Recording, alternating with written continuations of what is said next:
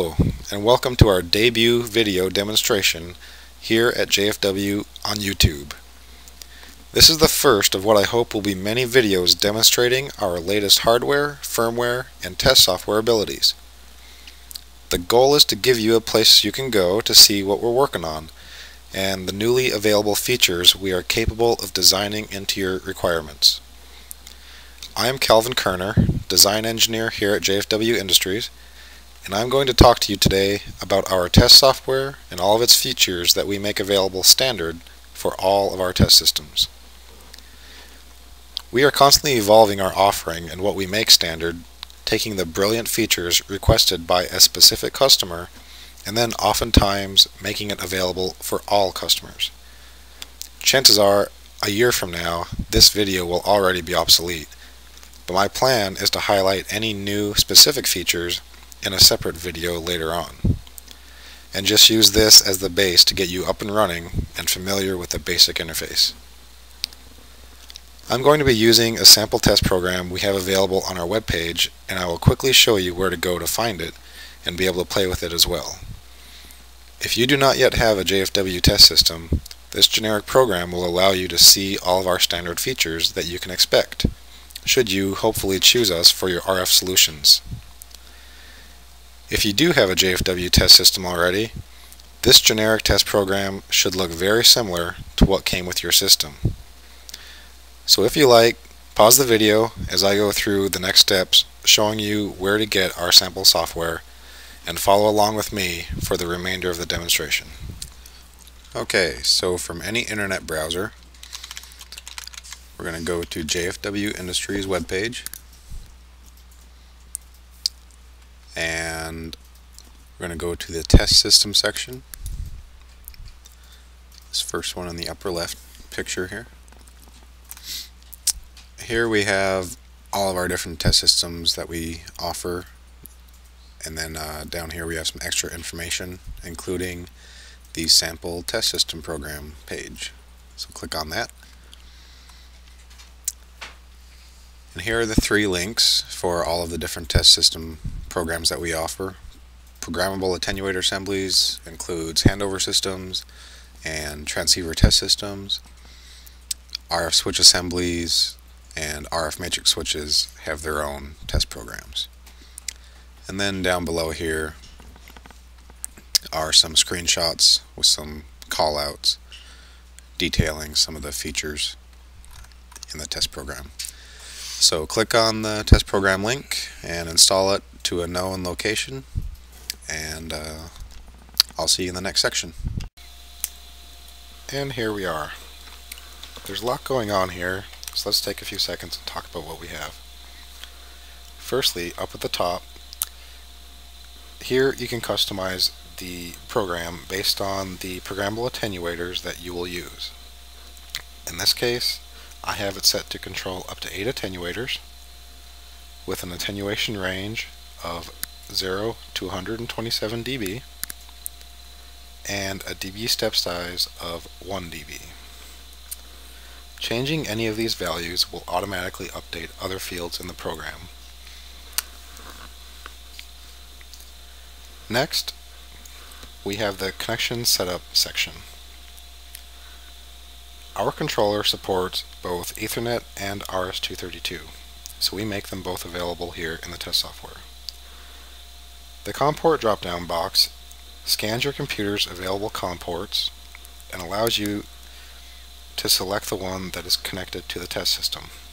In this case, there's only one COM port on this computer.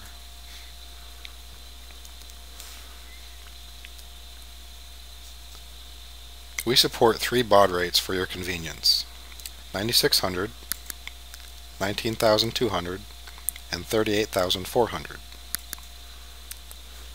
In your actual JFW test system, the last used baud rate is saved to flash memory and recalled on PowerUp. Similarly, when you close this test program, a text file is created with the last baud rate used and recalled when you reopen the program, as well as other settings, such as the last COM port and the last IP address. I'm going to talk about the Ethernet configuration feature in a later video, but for now just know that this is where you go when you want to program the Ethernet settings for your test system. Change the IP address, gateway, or netmask. Next, we have the remote command section.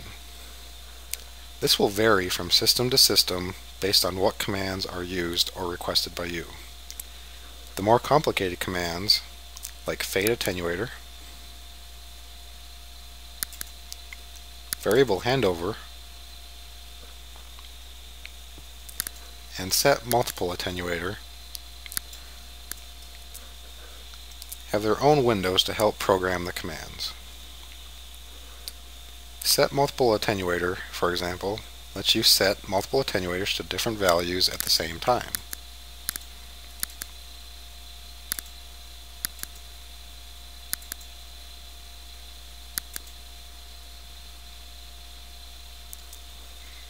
It is very useful for MIMO testing, where groups of attenuators need to be set simultaneously. The drop-down boxes are populated by the allowed attenuation settings.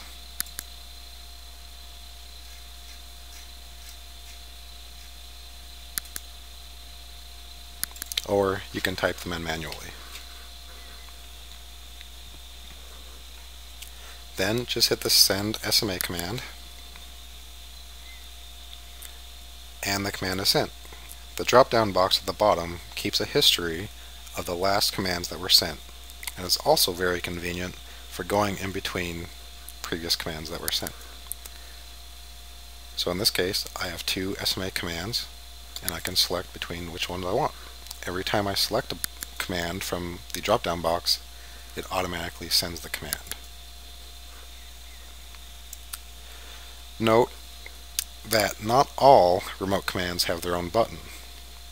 Some of them have to be manually typed in, such as the IDN command, which is the default setting when the test program opens up. The GUI typed commands also have a drop-down box showing a history of the previous typed GUI commands. Moving on, we also have a GUI key press. This allows you to quickly step through the values of a single attenuator.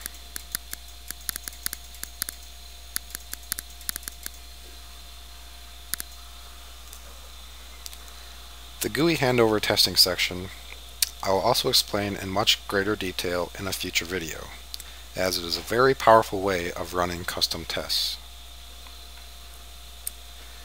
And finally, at the bottom, are just a couple of text fields that show you the most recent commands that were sent, right here, and also the received response from the JFW test system. And that's about it. The JFW test software is a means to give you the ability to be up and running the moment you unbox your new test system without any extra setup or programming on your part. Again, we would like to thank all of our customers who have requested some of the specific features shown here and making our standard test software what it is today.